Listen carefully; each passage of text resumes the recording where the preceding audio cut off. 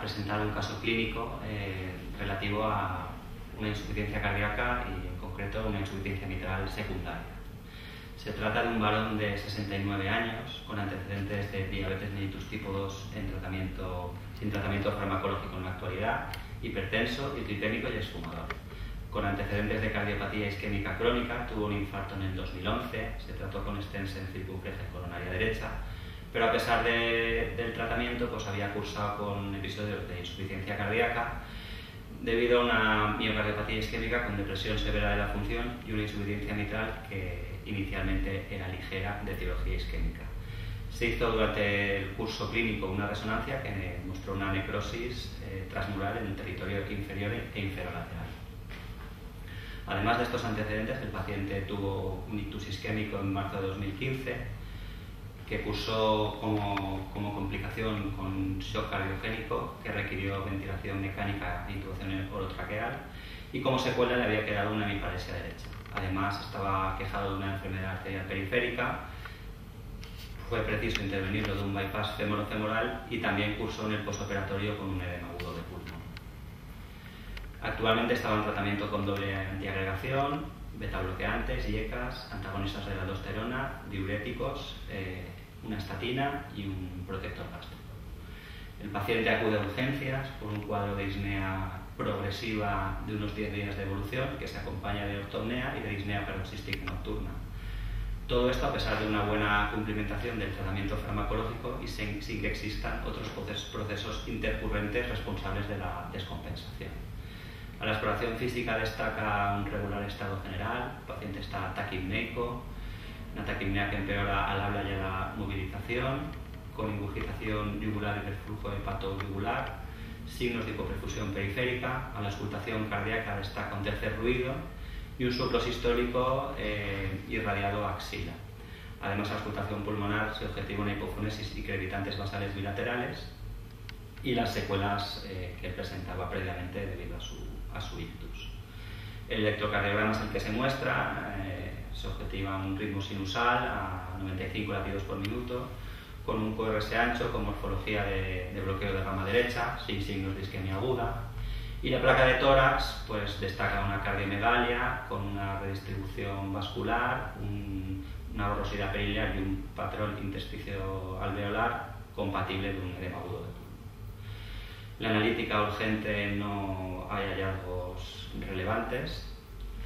y se hace un ecocardiograma portátil en el eco portátil que ya nos muestra una ventrículo izquierdo con una fracción de eyección severamente deprimida, con una insuficiencia mitral que impresiona de severa, de causa funcional, hipertensión pulmonar severa y signos de congestión con una plétora de vena cava. Con todos estos datos eh, se diagnostica al paciente de una descompensación de insuficiencia cardíaca, secundaria a una miocardiopatía isquémica, una depresión severa de la función sistólica del ventrículo izquierdo y una insuficiencia mitral severa funcional. Tras estabilizar al paciente en el área de urgencias, ingresa en, en cardiología. El ingreso hospitalario cursa con una buena respuesta al tratamiento deplectivo, una mejoría evidente del paciente y se decide repetir la ecocardiografía ya con más tranquilidad cuando el paciente está estable y actualizar la coronariografía. Respecto al ecocardio, pues, eh, como se ve en la imagen, pues, persiste una disfunción severa de la función sistólica del ventrículo izquierdo, con una hipocinesia global más marcada en los segmentos eh, inferiores y laterales, y destaca también eh, una insuficiencia mitral severa, secundaria deterioro asimétrico de las, de las válvulas mitrales, que explicaremos con más detalle su, su mecanismo a continuación. También se objetiva que persiste la hipertensión pulmonar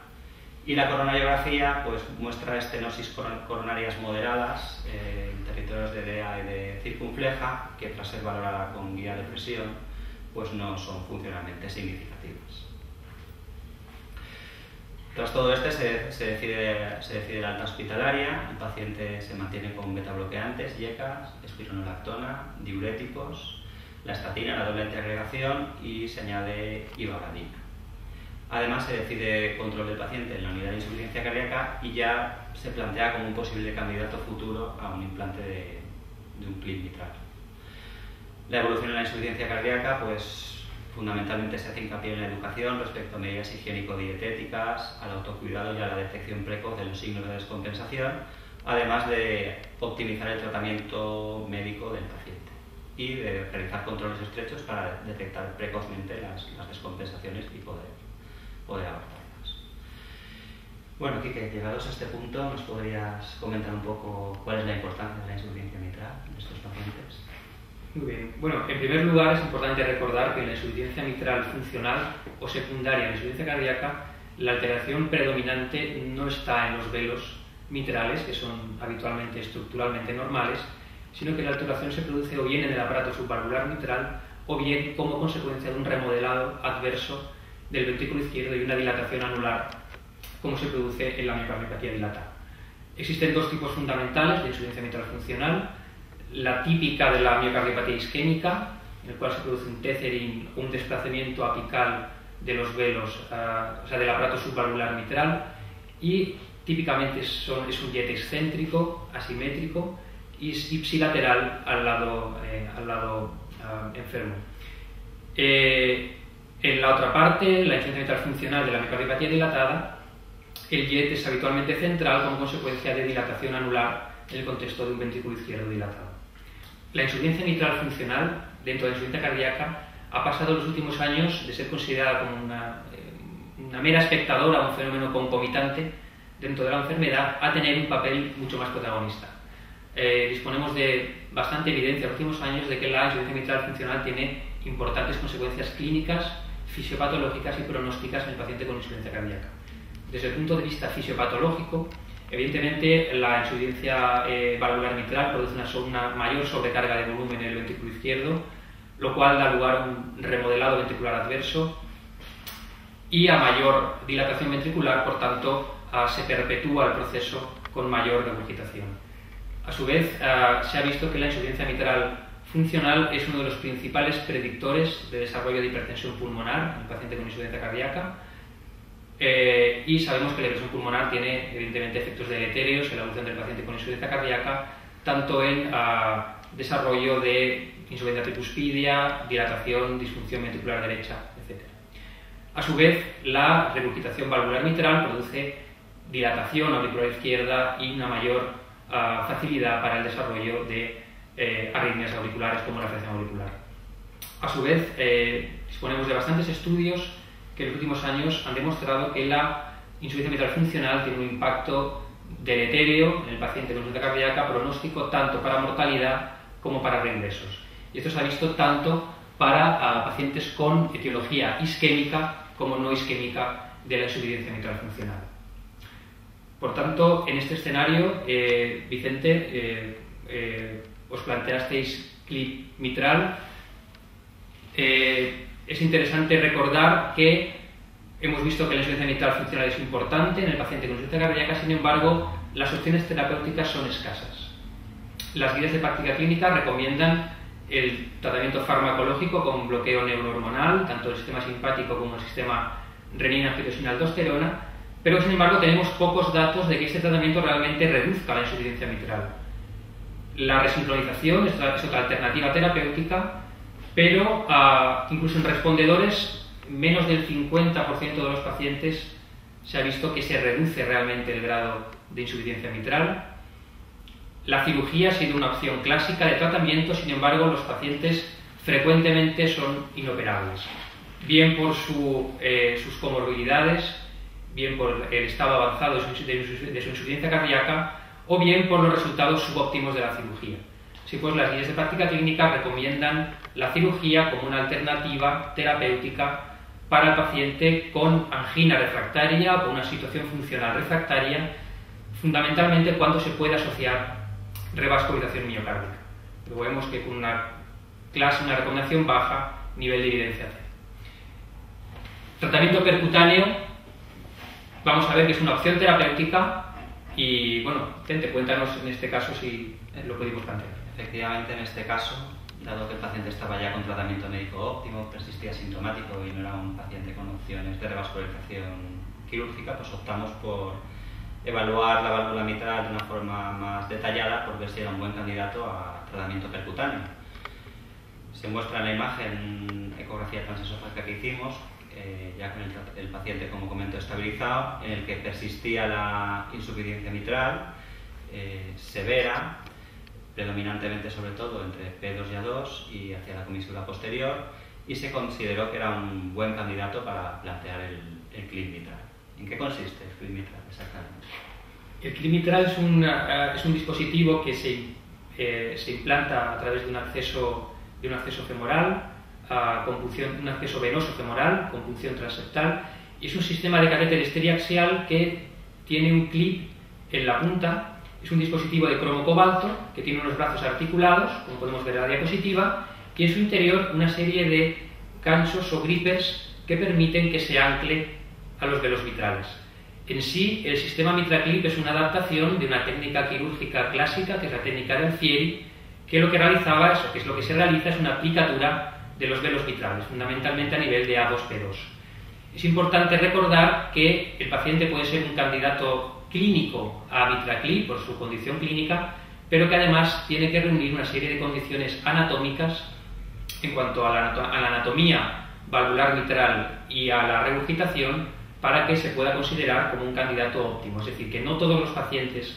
son óptimos desde el punto de vista de imagen para implante de mitraclip. En eso hay una serie de criterios que se han publicado y que eh, nos, ah, digamos, que nos indican qué paciente puede ser más o menos óptimo para implante del clip mitral. Bueno, eh, estas son las imágenes correspondientes al procedimiento de nuestro paciente. Vemos una imagen de ecocardio eh, transesofágico en tres dimensiones, en el que vemos el dispositivo y, ya a punto de implantarlo en la, válvula mitral. Y estas son imágenes también de eco transesofágico durante el procedimiento. Vemos el dispositivo ya anclado en la válvula mitral, todavía no se ha soltado del catéter y se hace una comprobación viendo que la, severidad de la, de la insuficiencia mitral se ha reducido considerablemente. Tras esto, eh, finalizó el procedimiento sin complicaciones y realizamos un ecocardio de control posteriormente en el que se observa el adecuado, el adecuado posicionamiento del, del mitral, una discreta mejoría de la función del ventrículo izquierdo y sobre todo lo que sí que llama la atención es la, la mejoría evidente de la insuficiencia mitral que ha pasado de ser severa a ser, a ser ligera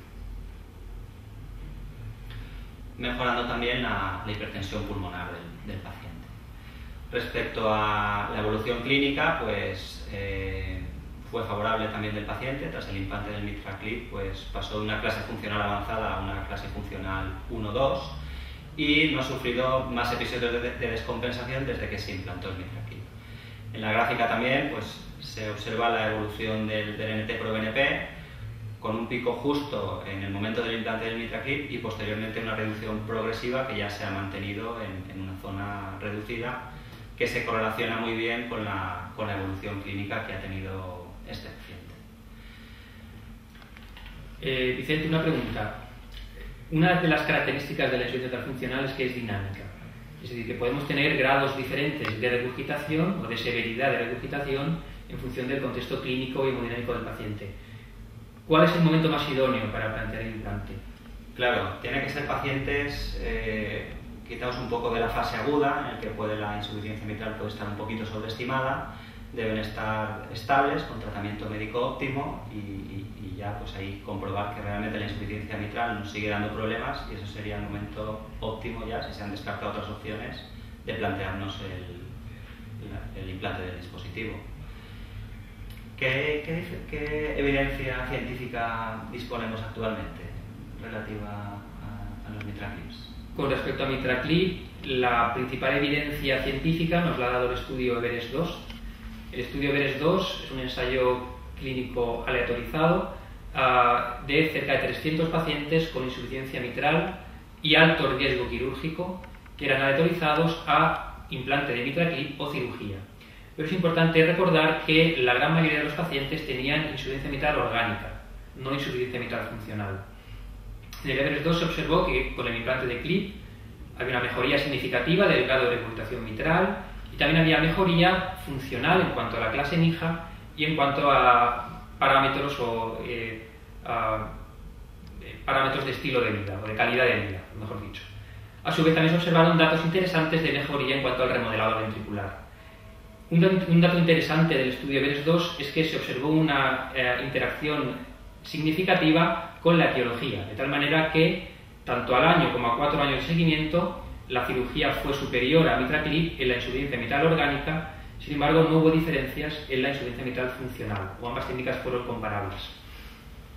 Pero esto es el estudio EBDES 2, que es un estudio autorizado, y lo que sí hemos observado, se ha observado es que ha habido una transición en la indicación de mitraclip con respecto al EBDES 2 y a la práctica clínica. EBDES 2, como he comentado, eran sobre todo pacientes con insuficiencia mitral orgánica o primaria, sin embargo, en práctica clínica, sobre todo, el implante de mitraclip se plantea ante la insuficiencia mitral funcional o secundaria en pacientes con insuficiencia cardíaca. Se han publicado varios registros en los últimos años que han ah, objetivado buenos resultados de mitraclip, tanto en mejoría clínica como en reducción de insuficiencia mitral, pero como vemos el perfil de paciente en el cual se implanta el clip es un paciente añoso de más de 70 años con una clase funcional avanzada, NIJA 3-4 y fracción de eyección deprimida. En la actualidad existen en marcha ensayos clínicos aleatorizados de mitraclip frente a cirugía en el contexto ya de la insuficiencia mitral funcional en insuficiencia cardíaca. El estudio COA en Estados Unidos, el ReShape en, el ámbito europeo y un estudio también aleatorizado en Francia. En los tres se, están incluyendo pacientes de MIJA 2 a 4 con insuficiencia cardíaca y de manera interesante se está planteando el mitraclip frente a, o on top al tratamiento médico óptimo. Es decir, que lo que se, se aleatoriza es tratamiento médico óptimo solo o tratamiento médico óptimo más mitraclip, que es lo que realmente se está utilizando actualmente en práctica clínica. Los estudios están en marcha y probablemente en, un plazo de 2-3 años tengamos resultados de estos ensayos clínicos. Para finalizar, nuestras conclusiones de este caso clínico es que la insuficiencia mitral funcional tiene consecuencias deleterias en el paciente con insuficiencia cardíaca,